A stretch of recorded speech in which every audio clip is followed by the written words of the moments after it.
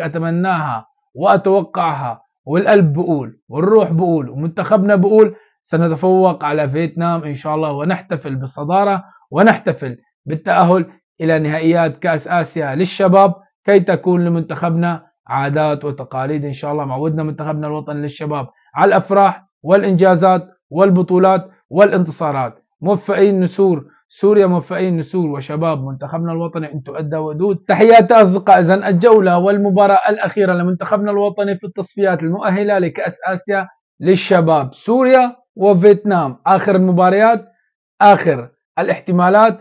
أهم المباريات مباراة بعنوان نكون أو لا نكون. بداية فيديو اليوم اكتب لي ب comment توقعاتك. سوريا وفيتنام توقعاتك الرقمية. فيديو اليوم راح نحكي عن ترتيب المجموعة موعد وتوقيت المباراة كيف ممكن منتخبنا يتأهل إلى نهائيات كأس آسيا؟ كيف ممكن يتم حساب النقاط والأهداف؟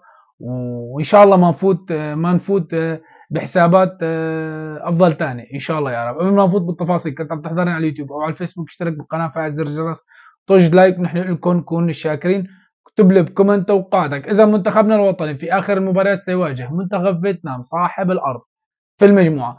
أهم المباريات وأقوى المباريات. نهار الأحد إن شاء الله غدا نهار الأحد إن شاء الله بتاريخ 29 6 الساعة 3 بتوقيت دمشق.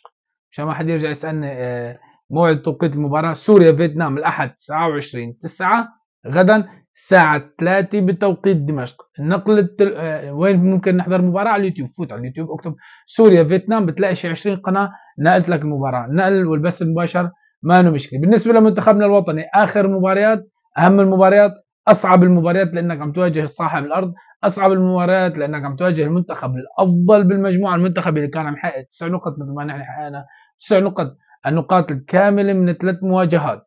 بالنسبة لمنتخبنا وحسابات التأهل نحن بعد فوزنا بالأمس على غوام بعشرة أهداف مقابل هدف أصبحنا بالصدارة بفارق الأهداف عن فيتنام اللي تفوق على بنغلاديش بأربع أهداف مقابل هدف أو. آه، بأربع أهداف مقابل هدف آه بأربع أهداف مقابل هدف.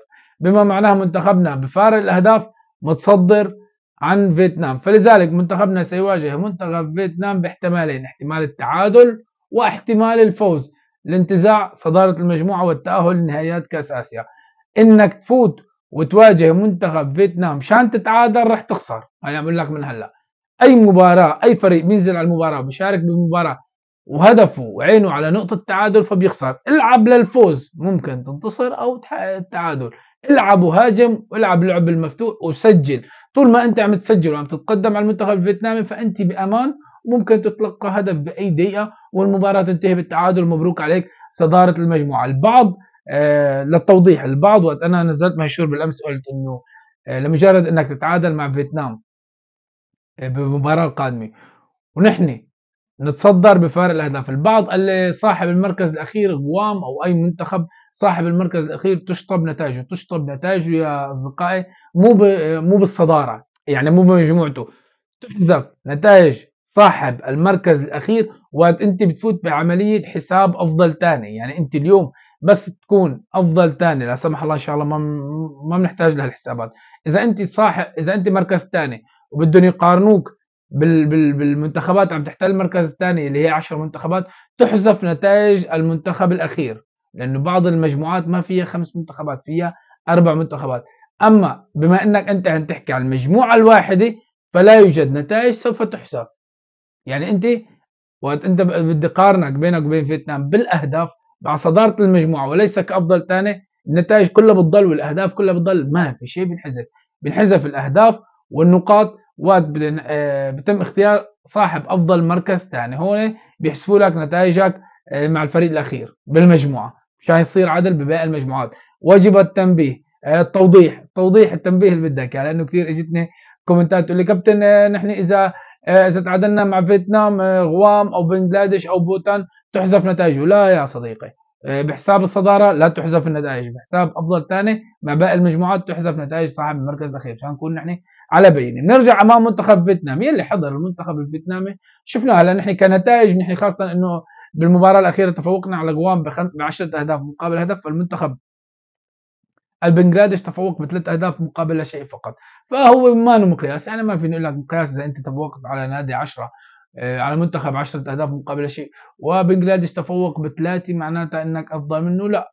إنما نحن كعناصر وبالمجموعة واللي عم يتابع وعم يحضر منتخب فيتنام واللي عم يحضر منتخبنا فمنتخبنا عنده المواهب وعنده الأسماء وقادر يعمل كثير من اللي شاف مباراة آه، غوام بيعرف آه، نحن عندنا أسلوبنا الهجومي وقت بنلعب صح نحن وقت بنحترم خصمنا بنربح هذا الشيء لازم نعمله أمام فيتنام. وقت نحن بنستهين أمام آه، خصمنا وما بنحترم خصمنا وبنقول المباراه باليد والأهداف مضمونة فبصير فينا مثل ما صار أمام بوتان وبنتفوق بهدف مقابل لا شيء وبصعوبة كانت يعني كنا رح نطلع بالتعادل كان ممكن يكون كارثة. فلذلك بالنسبة لمباراة منتخبنا أمام فيتنام المفروض على الكادر التدريبي الكادر الإداري الكادر الفني الكادر التدريبي المفروض الكابتن محمد عقيل يجمع اللاعبين ان سالم مباراه بنجلاديش. الكلمة الأولى أنا اليوم بجمع اللاعبين بآخر تدريب أو قبل بداية المباراة.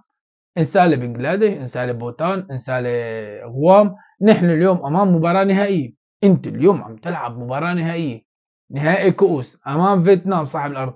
تكون أو لا تكون؟ النقطة الأولى. النقطة الثانية والأهم طول ما نحن متعادلين بالمباراة ما نستكين ونقول خلص تعادل باهلنا بكفي لا. أنا لازم أدخل بنجاعة هجومية. ما أتهور واندفع للأمام واترك المساحات خلف لفيتنام لا بلعب كأي فريق عم يواجه فريق آخر في النهائي النهائي تعادل بخدمك؟ لا بالنهائي لازم تنتصر. هيك لازم تواجه منتخب فيتنام. طول ما أنت مسجل متقدم بهدف مقابل شيء هدفين مقابل شيء فأنت بالسليم. أنت هون مرتاح. بس طول ما هي النتيجة بالتعادل صفر صفر واحد واحد فأنت مانك بالسليم. أنت بأي لحظة بأي غلطة بأي همسة بأي كرة بأي خطأ دفاعي بأي قرار تحكيمي تعسفي ممكن أنت تصير بالمركز الثاني وتلاقي حالك فت بحسابات إلى أول ما لاخر وأنت مالك فيها ومالك محتاجها. فلذلك ادخلوا أمام فيتنام للانتصار وسنحقق الانتصار إن شاء الله. بتمنى ما نحط بأذهان اللاعبين ولا نشرح للاعبين ككادر تدريبي والمدرب ما نشرح حتى للاعبين كيف ممكن التعادل لأهلنا. أنا اليوم جاي حقق 12 نقطة بالمجموعة فقط. أنا بمجموعة في بنغلاديش وبوتان وغوام وفيتنام لازم حقق النقاط الكاملة. مستحيل. مرفوض. أصلا مرفوض إنك اليوم تتعادل حتى أمام فيتنام. نحن كتاريخ كرة القدم كتاريخ منتخباتنا الوطنية للشباب والناشئين والفئات العمرية نحن بنتفوق بهيك مباريات. كلام اليوم لشباب منتخبنا الوطني. نحن متعودين نتفوق بهيك مباريات. فانت مفروض واجب عليك تتفوق في آخر المباريات أمام فيتنام تتأهل متصدر كمتصدر وما دخلنا بالحسابات وما دخلنا بأفضل ثاني بتقول له لفيتنام روح دبر حالك أنت أفضل ثاني أفضل ثالث روح آه، اعمل بدك يعني. أنا بدي أتصدر المجموعة. بتمنى شبان منتخبنا الوطني أهم شيء أهم شيء نحن آه، ما نكون مستعجلين. بس بنفس الوقت يكون في روح قتالية بأرض الملعب. الهدف بيجي بيجي لكن نكون نحن متمركزين صح عم نشتغل صح اللعب الجماعي أهم شيء نلعب ونخترق الأطراف اللي نحن ببعض المباريات.